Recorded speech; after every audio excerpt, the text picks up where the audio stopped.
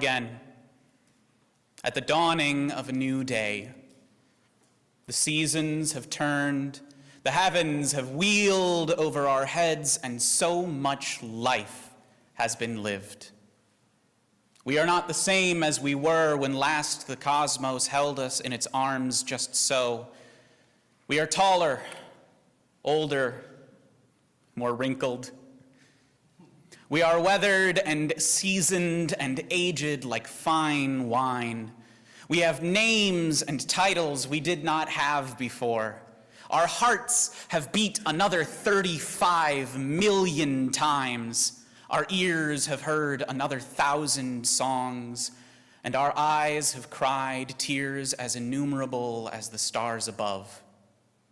We have changed more and in more ways than we could possibly imagine, and yet, here we are again. Hello, I'm Will. It's a pleasure to meet you. You may have known one of the 10,000 me's that came before today, but today it is so wonderful to see you for the first time, to hear the first words that you speak to watch your first steps, and to meet the you that you choose to be. The you that crawled out of the womb of your bed, left the warmth of what was before, swaddled yourself in cloth, and stepped, blinking, into the sun. The ritual of being born anew each day. The morning does not mourn the people who slept for they have joined the dreams with which they danced, and they are gone, but not forgotten. Their footsteps are not so easily erased. And when we lay our heads down tonight, we will join them. We have lived this spiral countless times, and we will live it countless more. We will watch the moon take its month long breath, smell the autumn leaves, feed the spring saplings, turn within cycles, within cycles within this cosmic dance of life. It is dizzying to even think about it. Days and weeks and years can blur together at times, whirring past our faces. The earth orbits the sun because gravity arcs its path through space. We are always falling into tomorrow. Each day we stand at the edge of a cliff, and each time we step off, we are met with another precipice. There's an old adage that it takes 10,000 hours to become a master. 10,000 hours of building momentum, of stepping off edges before we trust ourselves to land on our feet. But there are not 10,000 hours in a year. We can never go to bed the master of the year before. That 10,001st hour can only ever be tomorrow, and today can only ever become yesterday. We will always be standing in today at the edge of a cliff, staring off into the space that will become tomorrow, imagining what it may be, imagining what we may be. Life is lived at terminal velocity, a curious synchronicity. We tumble through it as fast as we can, free falling past calendars and birthdays. We cannot slow down. We cannot cling to the ephemeral air around us. Life has no brakes.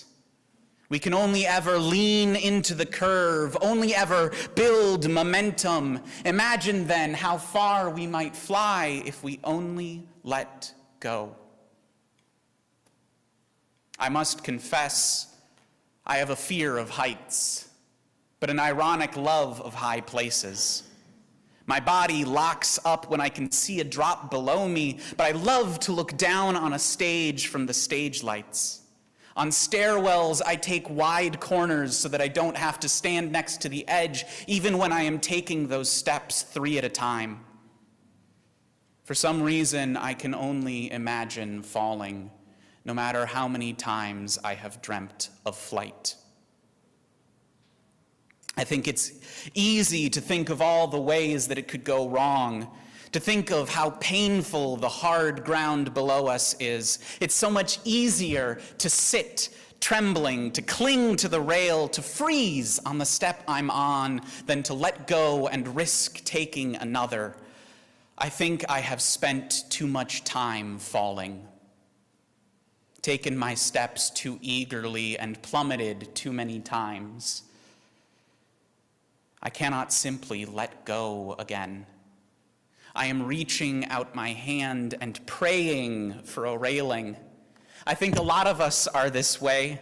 We look down and see how far there is to fall, but not out to see how far we've flown, or up to see how high we may yet climb.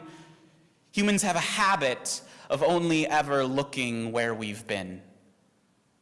Because to turn around and face the edge means to face our fear of the unknown, to look and not see, to acknowledge that we may fall and not know where we will land.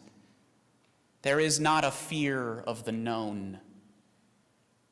We tremble in uncertainty.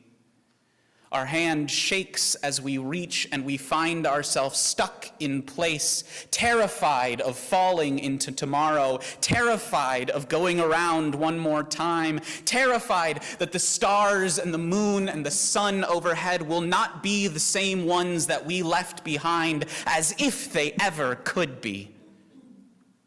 We clutch and we cling to our past, always checking the mirror to see behind us Today is a day of trembling, a day of small steps and reaching for railings, but it does not have to be. We do not only tremble in fear. When we are abuzz with energy, when we yearn to see tomorrow come, when we cannot help but take that next step, that is when we tremble with excitement. When our souls are overflowing, that is when our body hums and we climb higher and build momentum. And for a moment, we can feel the earth falling through space at 66,000 miles an hour. And we cannot tell the difference between fear and excitement anymore. There is only the burning as vast as a wildfire, as powerful as a rocket. It is the burning that makes the grass reach for the heavens. It is the burning that pushes the salmon upstream. It is the burning of our souls, the inescapable urge to step into tomorrow. It is no small coincidence, then, that the symbol of our faith is a flame. If anyone has ears to hear, let them listen. A church keeps a chalice, cleans it, fills it with oil, and lights its flame each week. The church gathers around the light of the flame, and it is not always the same person who keeps it. Rather, it is the work of the church. For the flame burns brighter if each cleans it and gives it oil and lights its flame than if only one were to keep the chalice. We are the church, the embodied keepers of the chalice, the symbol of our covenant, the fire of our commitment. The oil we bring is our lives, countless drops like countless days, holy, holy in our minds and our hearts. The chalice flame is today fed by all our yesterdays, a collective burning passion which we all maintain. And the light that it sheds is tomorrow. Almost blinding, it makes the shadows of our imaginations dance on the walls behind us as we imagine what tomorrow may bring. Our passions burn brighter when we share our lives, and a brighter flame means the shadows on that wall are clearer, so clear we can almost touch them, fumbling in the dark. We are reaching, but still we hesitate. We must make our hands railings. Let others clasp them in uncertainty and find steady comfort. Grip them as tightly as they grip us, and let them know they will not fall. Hold them as they hold us, and cherish each step we take together. They will offer their hand in turn, and none will have to face that fear alone the fear of how quickly today becomes yesterday.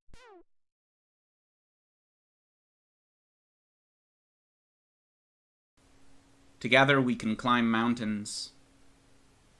Together we can fly. Together we can build towers atop our conviction and let our burning passions launch us into those wheeling heavens.